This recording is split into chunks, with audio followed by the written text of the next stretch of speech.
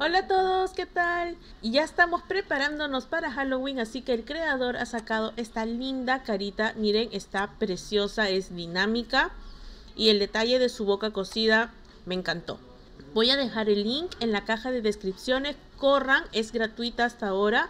No se la vayan a perder, ¿ok? Bye bye. Y no olviden suscribirse al canal. Bye bye.